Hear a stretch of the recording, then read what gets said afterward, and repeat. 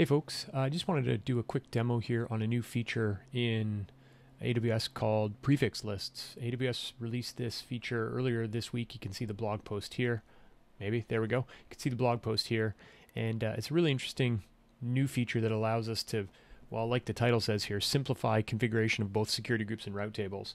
Uh, if you've got, you know, a lot of the customers that we work with would have ranges that they use in all of their route tables or all of their security groups, typically for on premise environments or branch offices and things like that. It needs to be that you would have to create entries for each of those.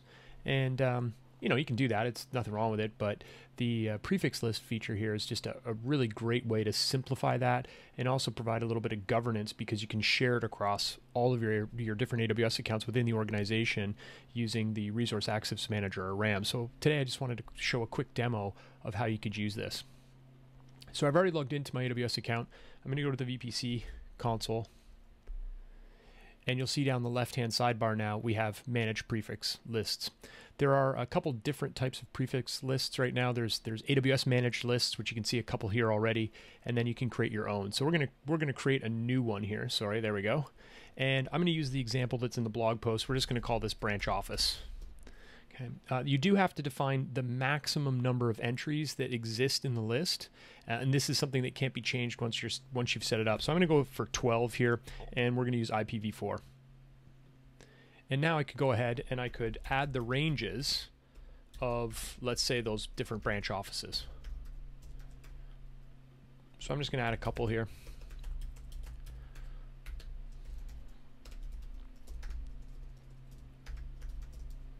And we'll add one more.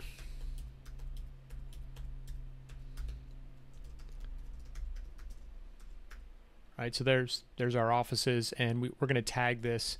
Uh, we'd like to use kind of a standard set of tags, so I'll just I'll use those here. Who owns this list? And how do we get a hold of that person about the list? And we're going to go ahead and say create. Once your list has been created, you get this unique identifier for your prefix list. It's you know starts with PL and then a unique identifier. You'll also over, notice over here version. So we'll come back to that in a second. Down here we've got our list, any associations, so route tables or security groups. As I mentioned, you can share this through the Resource Access Manager as well. We're not gonna I'm not gonna show that in this demo, and then the tags. So let's assume that we've got this list and we wanted to create a security group for it. So I'm going to go over here, click on security groups. We're going to create a new one and I'm going to call it, uh, let's say, branch office access. Okay. And we'll just say allow SSH from the branch offices.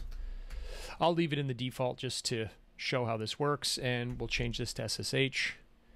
And then in here, we can just start typing PL, and there's our branch list. So these are the existing ones, the AWS managed ones, and we're going to select the branch office list that we just created and give it a give it a description so we can remember what it is later on.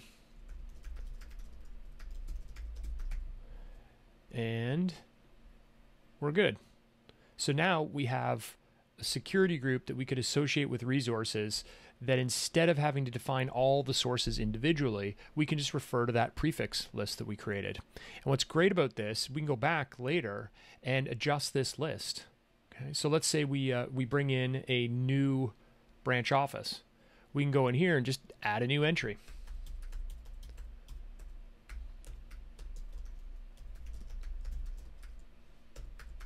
Okay. And now we've updated it. And we'll just give this a second here. You can see, oh, modification's already complete. Last time I, I ran through this, it took a little bit of time. Now we've got two versions. This reminds me a lot of uh, uh, customer managed profiles in IAM, managed policies. What we're able to do now is we can go over here and let's say you decided that you made a mistake and you wanted to quickly revert, you could revert back to the previous versions of this, uh, you know, to basically fix errors or anything like that that you would like. But as soon as you change this, then the association in either the route tables or the security group has also changed. So I'm thinking with route tables, this would be a great way for setting up routing, maybe for transit gateways and things like that. Uh, you could basically just say, hey, here are all the branch offices. If you're trying to get to the branch office, the default route is the transit gateway. And once these are up and running with Resource Access Manager, we could share it across all of the accounts in the organization. So really I think, much more simple way to do this. And it also gives us a lot more governance because with Resource Access Manager, we could create all these uh, prefix lists in a single account and audit and manage them from that centralized account. As I was getting ready for this demo, I was looking in CloudFormation because we do everything in CloudFormation. And I've noticed within the security group setup, both ingress and egress, there are references already to prefix lists, but I couldn't find within the documentation how to create the prefix list. So I either just missed it or it hasn't been released yet. So I would suspect it's it's coming soon uh, at the at the worst case scenario, or it's already there and I, I just could, couldn't find it. So have a look at that. Uh, obviously, we would on we would want to codify everything if we can, makes it simpler. You can do all this through the CLI already as well, fully supported. So just a quick demo of prefix lists. Uh, get out there, build great things, and uh, learn how to build on the platform. Talk to you later.